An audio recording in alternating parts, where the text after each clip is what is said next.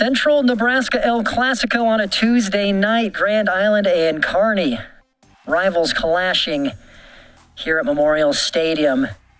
Javi Beatty, leading goal scorer for the Islanders, 16 coming into this one. He was testing the goalkeeper Connor Hibbard and testing him a lot. Hibbard up to the task there, making the save.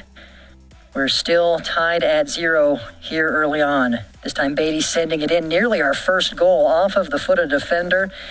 Hits the post, and we're still tied 0 0. But the tie is broke. Diego Salas finds Beatty, and the junior one times it into the bottom corner, and we have ourselves a 1 0 game. That is the 17th goal of the season for Beatty. But before half, the freshman Colt Straka from 28 yards out makes it 1 to 1.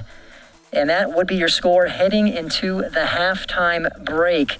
Coming out of halftime, well, excuse me, this is actually another look at that shot by Straka. Absolutely beautiful goal. And it's 1 1 now as we enter the second half.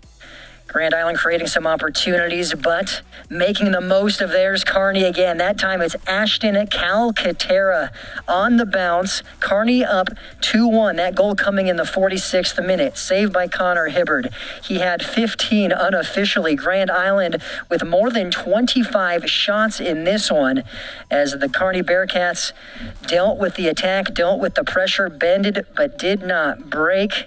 A couple of opportunities for Kearney, but in the end, Grand Island giving it everything they could, but unable to find that equalizer. So Kearney keeps the cup, they hoist the trophy, and are your Central Nebraska El Clasico champs. 2 1, your final.